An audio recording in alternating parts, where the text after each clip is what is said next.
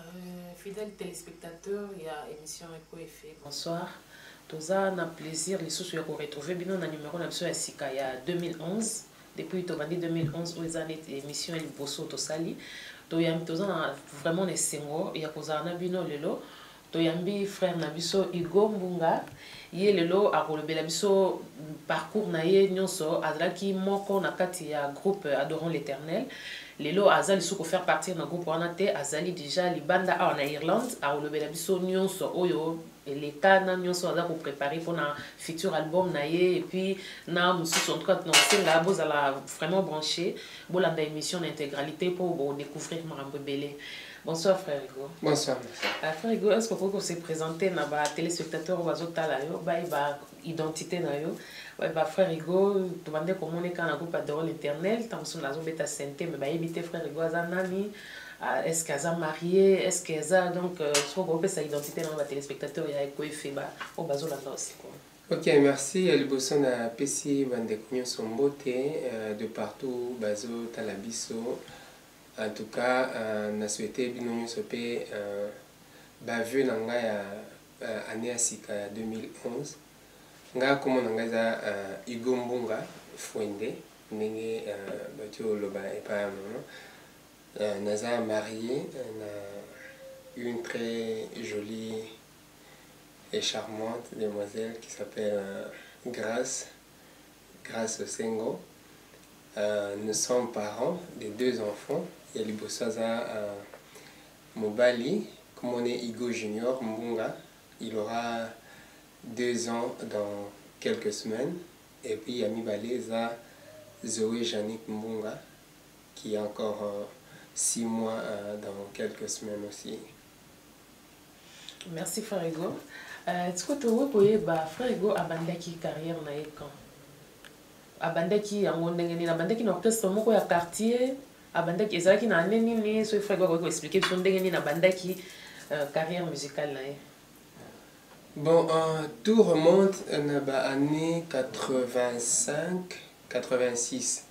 nazalaki nanu mwana moke makasi na nazalaki euh, à l'époque tozalaki na katanga na l'une des provinces ya, ya, ya congo rdc euh, place na nakoli mingi nazalaki nanu nabandaki nanu na chorale chorale moko euh, ya église catholique euh, mpo na baoyo bafandi kuna mingi bayebi chorale oyo babengi les troubadours nabandaki kuna en tant que chantre euh, nazalaki koyemba voix soprano et après quelque temps mm, nakomaki mpe parmi les dirigeants bien que mwana moke bon ça a évolué avec, euh, après quelque temps esengaki nakomaki oyoka mposa ko apprendre bainstrument Euh, nayekolaki banjo banjo eza euh, sous forme ya guitare mais ezalaka trois fils donc basala yango c'est des trucs euh, traditionnels mwa linzanza miliki otie mwa nzete mwa poso ya ntaba mwa basinga epuis j'ai appris ça j'ai appris à jouer au tam tam et bon comme j'étais dans la chorale ça, ça me permettait à kozala ko actif na ba, na biloko wana ba instrument wana et petit à petit na n'evoluaki et voilà mais alors ozoki goût wana ezalaki na moto moko azalaki neti encadreur na yo pour que pona eza neti aide yo po évoluer oui encadreur euh, nazalaki na encadreur kombone euh, lambert euh, yuma Azalaki à l'epoque moko ya euh, ya ba euh, ya ba nakoloba oh, nini ya ba dirigeants ya chorale. C'est vrai que euh, déjà au départ na nazwaki nakolo grâce ou bien euh, euh, ngolu moko nzambe asalaki nga déjà à l'époque euh, nazalaki na mwa eloko moko babengaka melodica eza na clavier euh, neti ya piano mais il faut ko, ko ko kotia munoko kofula po obeta bon na bana deja obeta nzembo mibale de moi-même et puis je me suis dit en tout cas je dois euh, chercher quelqu'un qui s'y connaît mieux pour na yekola alors na lekaki euh, au pied de euh, Lambert Yuma qui doit être à Lubumbashi en ce moment na pesi mbote na libota mbimba c'est lui qui m'a encadré pendant quelques temps et puis bon euh, J'ai appris à m'envoler de moi-même comme tout. Tango olongwe Lubumbashi oye Kinshasa. Okotaki na orchestre moko, orchestre moko ya mokili, ou bien okendaki directement na groupe Adorant l'Éternel. Ezali na ndenge nini? Bon, en fait, Lubumbashi eza place na qualité. C'est euh, un endroit où on pouvait aller pendant les vacances. Excusez. Nakoli plus na Kamina. na kamina eza lisusu mwa mboka moke makasi eh, kuna ntango nakomi na, eh, na kinshasa il faut olobaki avant kinshasa nalekaki na mbujimai eh, ilebo asi eh, mwa bisika ebele ebele mais ntango nakomi na kinshasa um, il s'est fait que nazwaki temps ya koévolue mpenza na bagroupe ebele mingi te mais nakoki kosite quand même groupe neti les les persévérants baza bana mbinza donc euh, quelques mois euh, j'ai travaillé avec eux et puis nazalaki na groupe ya louange ya église ya nzambe malamu euh, na euh, église mère euh, donc na direction sur l'avenue chwapa na commune ya kinshasa naévoluaki kuna mingi et puis bon euh, nayaki kokutana groupe adorant l'éternel Euh, c'était vraiment le début quoi. Donc euh, je crois... Au départ, moko ya ba choriste na nga déjà à l'époque nazalaki eh, dirigeant ya chorale na nzambe malamu na paroisse ya lemba epa pasteur euh, mwanza Alors, une de mes choristes azwaki invitation, ayebanaki na ba Franck que non euh, répétition moko eza quelque part euh, est-ce que euh, dirigeant oko otikanga air tokei j'ai découvert aussi et j'ai rencontré des personnes que je connaissais c'est comme ça que bon en tout cas nasepelaki na environnement na bino en tout cas il faut nakota na bakisa lisusu mwa koyemba na o euh, naza nango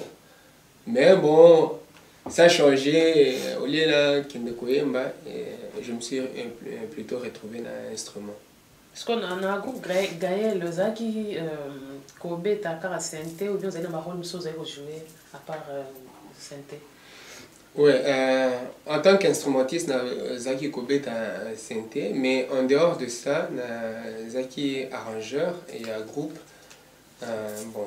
na assumé yango pendant plus ou moins 9 ans. Donc, euh, moi, kosangisaka mayele ya kolobaka no nzembo ifo ezala boye melodie koto ifo ezala boye soki ifo cœur esala place euh, place oyo ifo bato bayemba boye donc euh, pendant 9 ans yo nde moto ozali kosala ozali mpe arrangeur na kati ya groupe tout à fait yo moto osali baarrangement pendant 9 ans ya baalbum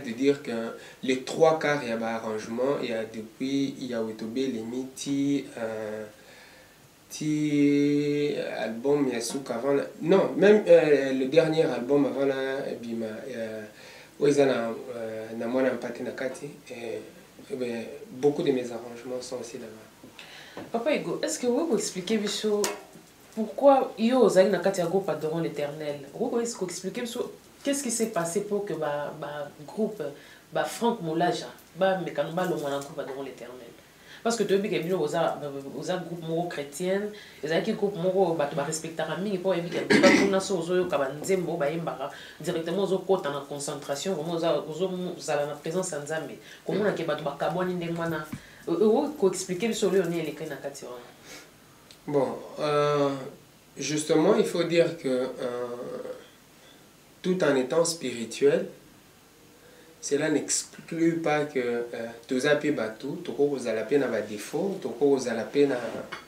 na ba problèmes na biso en tant que batu, tout en étant spirituel. C'est-à-dire okozala osambelaka de 6 heures à 6 heures, mais okoyoka pe nzala. Donc wana eza aspect ya, ya kibomoto. Bon, bandeko balongwaki suite à ba mwa problème moko ya mike mike, bon Je ne saurais peut-être pas kokota na détail mingi, mais bon. Franck déjà à l'époque akomaki marié. Hein? Na zolinga na meka ko expliquer boye po au moins mutu nyoso a comprendre sans peut-être ko léser batu mosusu. Franck à l'époque akomaki marié. Vous voyez? C'était plus euh, le seul Franck euh, fils à papa Alain.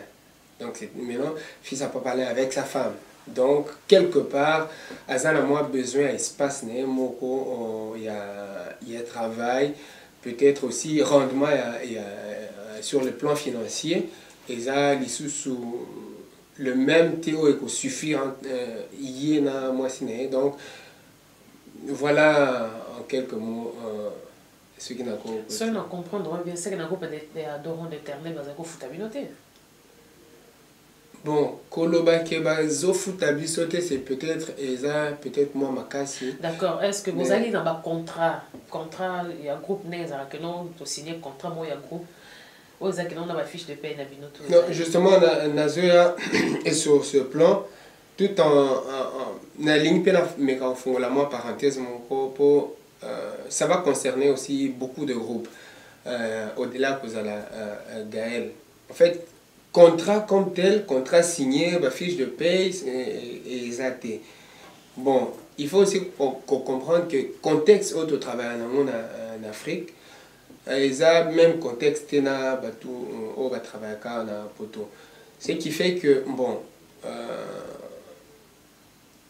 On travaille plus na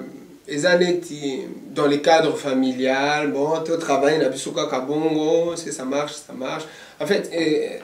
ça évolue comme ça soki eza na bandeko bakoloba ke non baza na bacontrat je ne sais pas peut-être il y a une année ou deux ans bon peut-être ekozala makambo moko ekoti sika mais à notre temps ezalaki te Voilà, donc quand il n'y a pas de contrat, on ne peut pas parler euh, en termes de salaire. Mais comment est-ce que vous avez retravaillé bino bato boza na kati ya groupe bozo bozo yemba musala bozo yemba pona Nzambe mhm. groupe album ezoteka mais comment bo que bozaki payer te so ba que bozali na contrat ezalaki te donc ko ba que bozali futama te Oui, bon, au moins, euh, nalingi bato bameka kocomprendre euh, eloko euh, peut-être certains vont dire mais babanda kofuta bino te alors ezalaki ndenge nini eza différent ntango par exemple tozotravaille na yo il faut nafuta yo sur base d'un contrat mais il n'y a pas de contrat dans l'autre temps tu peux avoir un besoin non euh, est-ce que tu as un besoin mais en réalité ce qui est à la sur contrat serait dû être ton salaire alors comme il n'y a pas de contrat euh, il y a certains gestes qui sont à titre et à aide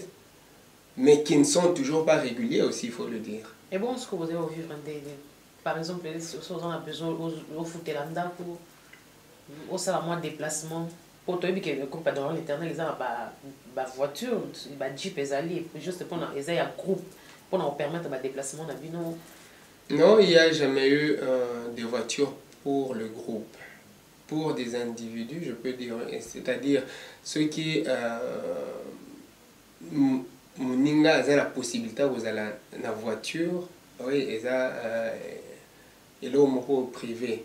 n'empêche que groupe ekoki kosollicite yango mpona besoin moko boye mpona déplacement moko boye mais eza elobi te ke ekomi ya groupe Donc vous avez ba voiture moko privée, vous avez ko permettre bino bo se déplacer, vous avez besoin de ça déplacement moko, ba pesi sur voiture se déplacer dans moko. Non, c'est que le but que non tant vous avez ngo besoin ba pesi yo déplacer dans ngo c'est ça eza penza penza bongo te. C'est-à-dire na pesa exemple admettons que non toza na production moko il faut tolonga par exemple euh, kitambo tokende oyemba na lemba ou bien na njili bon bato oyo baza pembeni ya kote wana bakoki kokende na bango avant bon biso koto peut-être admettons moyen totali heure au lieu tozwaka transport ekozwa biso ntango ebele tokoki kosenga euh, kosollicite voiture à ce moment là ekoki ko eza te ke non bon ngai nalobi kaka non nakende bacourse na ngai te eza bongo te ocomposa déjà combien de chanson na kati ya groupe ya baron éternel Bon, na groupe Adorant l'Eternel, euh, nazwaki grâce ya kotya euh, nzembo mi, misato to, non mibale non, eza euh, molimo kita euh, bobele yo na mwana ya mpate Bon, et il faut dire que euh, Bobé Léon Amon Pate, on a travaillé ça en commun avec euh, le frère Atoms. Euh, Eh, oyo molimo kita nde eza wana ya yo moko. Bon, molimo kita euh, refrain euh, kita tobandaki to koyemba yango depuis euh, quelques années passées. Alors, euh, euh, la partie oyo eza ebandeli, c'est quelque chose un jour nazalaki na place tobanda ofanda euh, plus na bandeko mosusu atoms na avec les autres bon un jour j'ai ezalaki matongo na nasambia c'est venu c'est comme ça que j'ai écrit et bon nalukaki bandeko totravaille puis lelo ozofaire partie lisusu na groupe gael te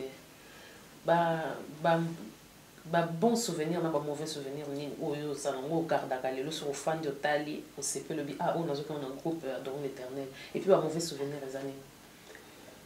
Bon, euh, ba bon souvenir eza ebele, eza pena ebele makasi, c'est que bon, euh, déjà il faut korobana sur le plan spirituel, j'ai beaucoup appris d'adorant l'Éternel. J'ai vraiment beaucoup appris euh, au pied ya Papa Alain, j'aime l'appeler comme ça. Euh, bon, na na ekoli mingi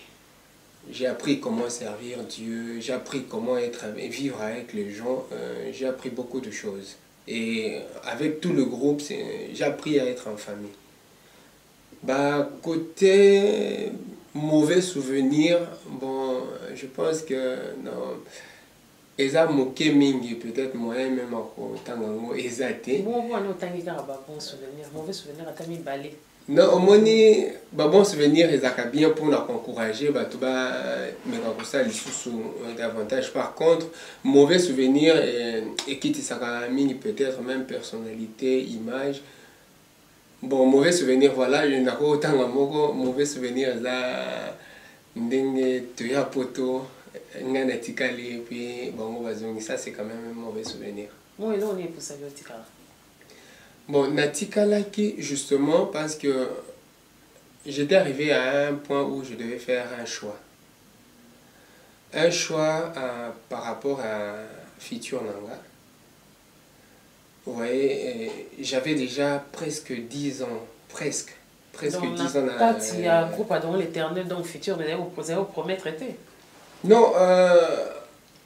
Au delà ya kosambela, ko ko voyager, kosala ba nzembo,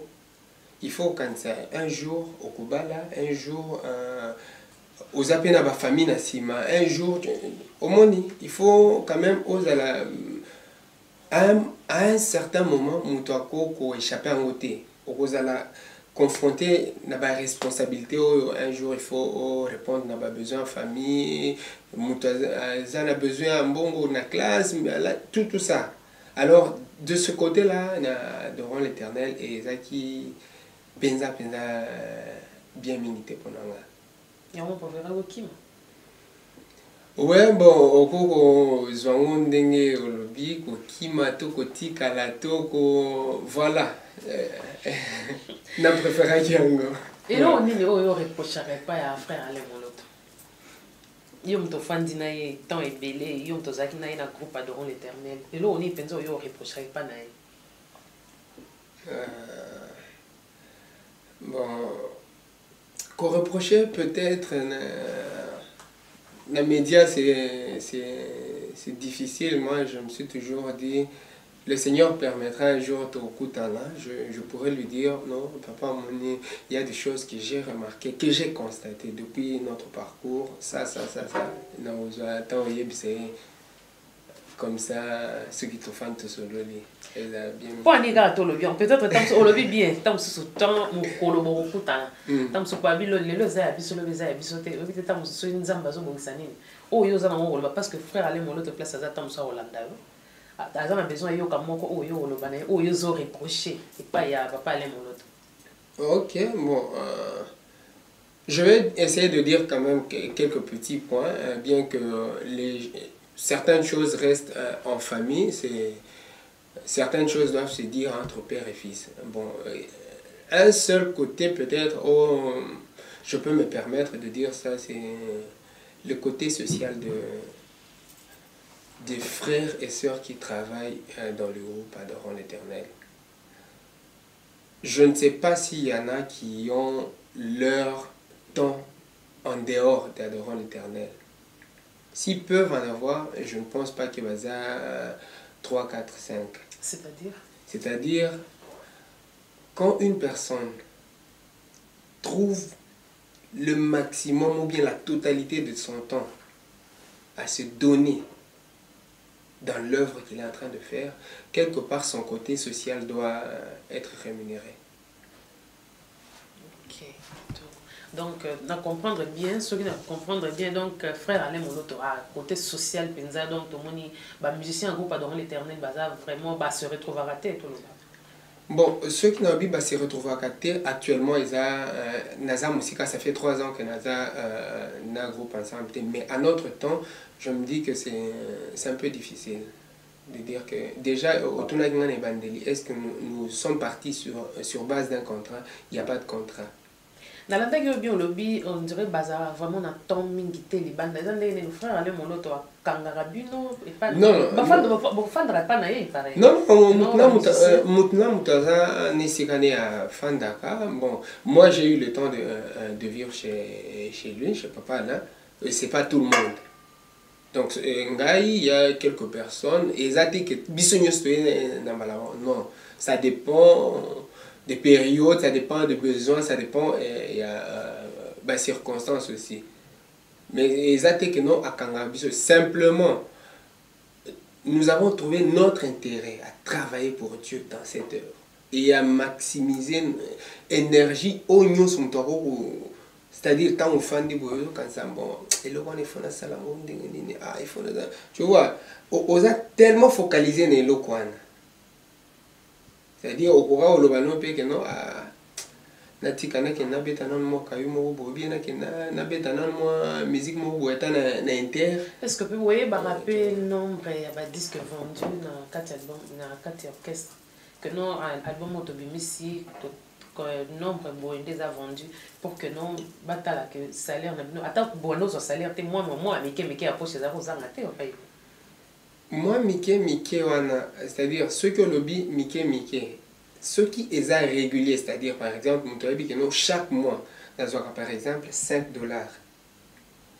il peut commencer à s'organiser par rapport à 5 dollars wana Mais soki par exemple ye 1000 euros lelo, il faut attendre 10 mois pose 1000 euros. Euh, omoni que eza eza Donc soki na comprendre bien frère Igwa kimaki na ye parce que frère ale moloto azalaki donc vous comprendre déjà partir ba propos na yo que frère ale moloto azali occupé vraiment ba nini cote social cote finance en tout cas ezalaki vraiment mobulu papa igo soki okoki kosalela biso ta mwa akapela moko ya moke mpona kosepelisa ba telespectateur oyo bazolanda biso na kati ya émission ekoefe ya nzembo moko oyo oyo yo otiaki na groupe adoron l'éternel parce que olobi otiaki bobele yo otiaki molimo kita soki eza mosusu soki okoki kobetela ba telespectateur oyo bazolanda mpo badécouvrir biso biso nyonso toyokaka kaka nzembo ezobeta me toyebi ta mosusu moto akomposaki yango te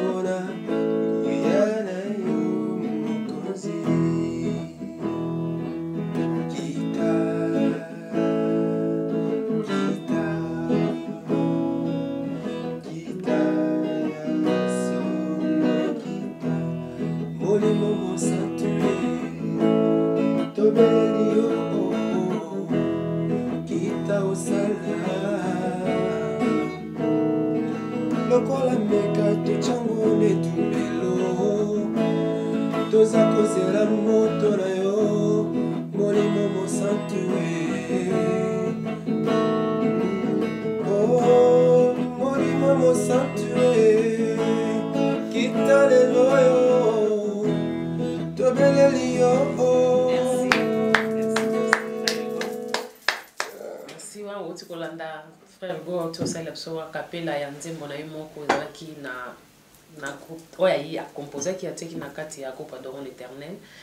frère ego lelo ozo faire partie lisusu na groupe adoron l'éternel te relation na yo na papa ale moloto ezaka ndenge Uh, papa alain uh, nde uh, nayebisaki yo nayebi te soki o remarqué que uh, très souvent je dis papa alain c'est-à-dire ntango nazoloba papa alain c'est vraiment uh, aza vraiment papa mpo na nga nous avons uh, les relations normales euh, oyo papa na mwana akozala oyo motambwisi na oyo azotambwisama bako kozala nango c'est-à-dire euh, quelquefois nabengaka quelquefois nakosala texte ye mpe akoki kosala nanga texte ah, mon fils je t'aime donc toza ba relation bien tout à fait bon sikoyo lelo soki apropose yo que non ozonga na groupe réaction eza ndenge malgré azali kofuta bino te bon euh, soki apropose ngai nazonga euh, eza eza yango yo kutu olobi soki apropose ngai euh, nazonga c'est-à-dire olobi soki mais c'est déjà une proposition ezalaka nango depuis kala il n'y a pas très longtemps euh, deux semaines passées je parle deux ou trois semaines passé na bando solana moko ya bandeko qui me disait ti ndenge ozalaka wana yeba ke tozelaka yo mpo place na yo eza awa c'est-à-dire ça c'est pas euh, un problème soki lelo alobi ke no frère igonga alingi mpenza ozonga na groupe atongo leternel ozonga bon kozonga sikoyo euh, sincèrement ça ekodépendre na baparamètre ebele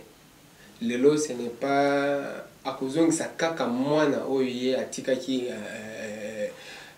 na poto comme ça te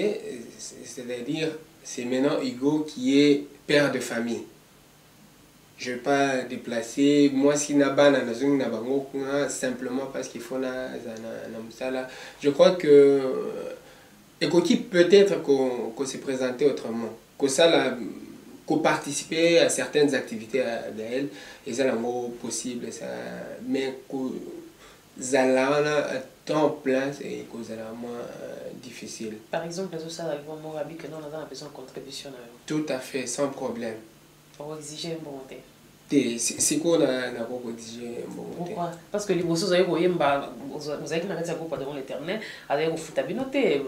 mutu nyonso a se plaignaka nango. Owuti koloba ngo tout à l'heure. Euh, mais sikoyo okende ko travailler kaka ndenge wana oke otia contribution na yo. Euh, te, sikoyo euh, soki nalobi bongo eza po quand même il y a beaucoup de choses qui ont changé. Ozomona. À l'époque tout ce qu'il y avait dans ma tête, tout ce que j'avais comme activité, les bien-aimés, euh, je crois, ils savent de quoi est-ce que je suis en train de parler. Tout ce que je pouvais... Et l'orgueil c'était adorant l'éternel. Donc je ne pouvais pas m'imaginer avoir euh, une autre activité à côté pour euh, me ressourcer mais ça fait 3 ans naza awa na poto c'est à dire okende oh, oexige mbongo te parce que atikaki yo na poto non pas pour ça non simplement parce que lelo soki nake kosunga euh, mosala eza te mpona euh, lisusu mpo mbongo parce que déjà le peu oyo nakoki kozwa awa ezosuffire ngai na mwasi na bana eza c'est déjà bon donc euh, merci beaucoup franco tolingi tosola nano moke sur album na yo euh, album na ozoya eza ointitule yango comment bon album eza ça sera plus euh, un culte culte culte d'adoration eza culte euh, ndenge kaka tosalaka culte na biso baservice na biso ya dimanche euh, eza sur ce style euh, nde na travaille album c'est-à-dire te na sali orchestre te nazo travaille na chorale ya église na biso donc miti mwa groupe d'accompagnement ya église bon groupe d'accompagnement euh, même pas d'ailleurs faut na, na souligner que naza même pas chef à chorale Naza na uh, dirigeant na nga chorale que j'aime et que je respecte beaucoup, le frère Eric Alombo. nazalaki na euh, yango na studio nayokaki ozongisi quelque titre ya banzembo oyo boyembaka na groupe adongo l'éternel pourquoi ozongisi yango Euh, bon, nazongisi yango euh, euh, d'abord ezalaki sur base ya en fait sur demande ya, ya, ya maison ya distribution na kotravaille na bango euh, voilà et puis bon de moi même kozongisa yango mpe je me dis que quand même euh, c'est bien mais bisika nauti baotala balobaki non ah bon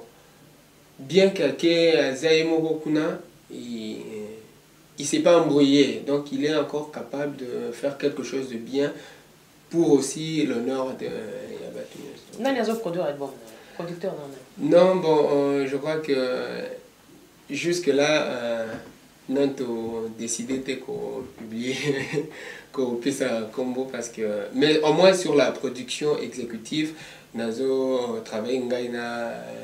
na David Mulumba euh, aza ndeko na biso moko totravaka ne awa donc euh, baenregistrement bamixage babiloko nyonso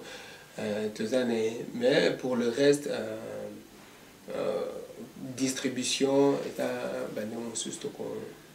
album ya frère Hugo Mago obombe biso titre ekobima quand ok euh, nakoki kopesa date exacte te mais dans d'ici déjà euh, peut-être fin janvier euh, tokozala déjà na produit fini na maboko et puis bon euh, tozokanisa déjà kosalisa bafiche ba pour euh, d'ici peut-être le mois prochain et puis bon Soki ekomi nango to decider to fixer ba dates toko yebisa bino. Soki musicien moko ya mokili aye ko proposer frère Hugo que a travailler na ye reaction na yo eza nini? Bon, il faut nayeba ko travailler en tant que musicien na ye ou bien ko travailler euh, nde nini ko travailler euh, akuti nga na studio ou bien je ne sais pas exactement bon azosala album asengi contribution na yo musicien moko ya mokili azosala album na ye par exemple asengi que non frère ego aya kocontribue par exemple bien asala arrangement ya album na ngai réaction na eza ndenge bon euh, je pense que à ce point là euh, il n'y a pas il n'y a pas euh, il n'y a pas beaucoup de soucis donc okende kotia contribution na album na ye na album ya musicien oyo akobengisa akoinvite yo baza musicien mm. ayembaka banzembo mokili bon tout va dépendre na tout va dépendre euh, na actualité ya situation wana euh, ntango okoya tout comme nako koboya tout comme nako kondima donc c'est d'abord eza eloko moko nano etikala kokomela ngai te donc euh, voilà Oko pesa biso difference entre musique chrétienne na musique mondaine. Bon, musique chrétienne uh, eza nga nalinga mingi koloba musique sacrée. Eza musique oyo eza sacrée mpo na Nzambe. Musique oyo tozobenga musique mondaine eza ngai nalinga kobenga yango musique populaire ça c'est par rapport ya ndenge ngai nayekoli makambo yango na, na classe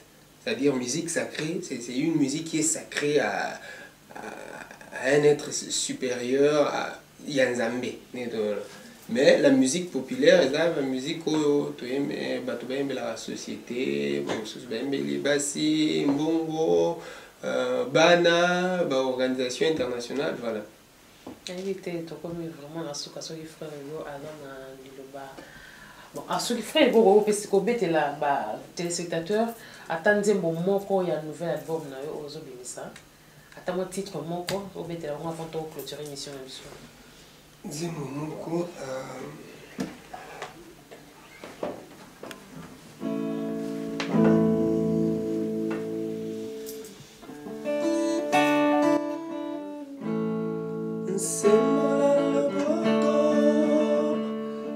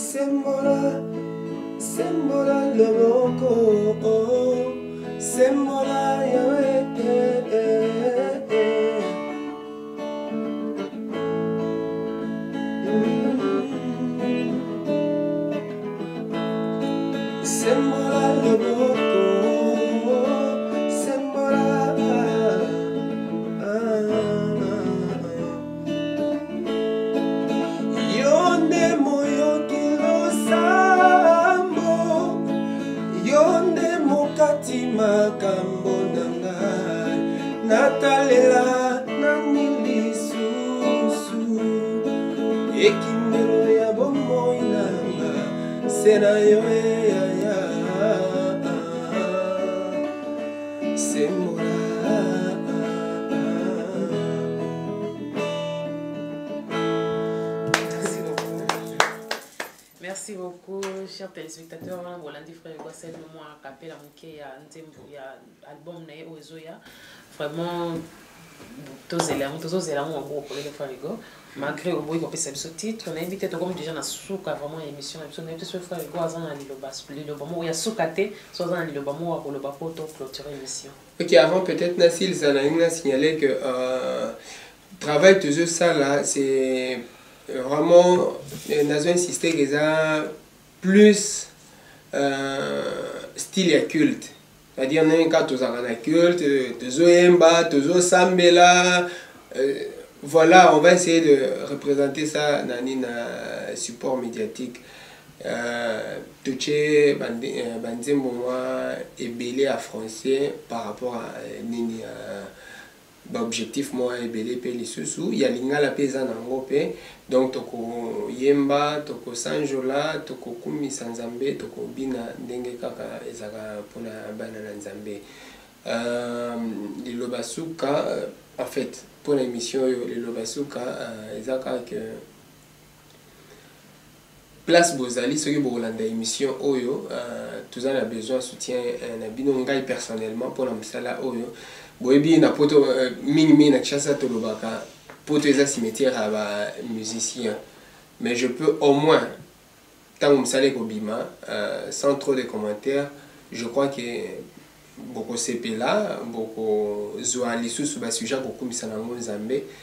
Pour trois ans durant, je,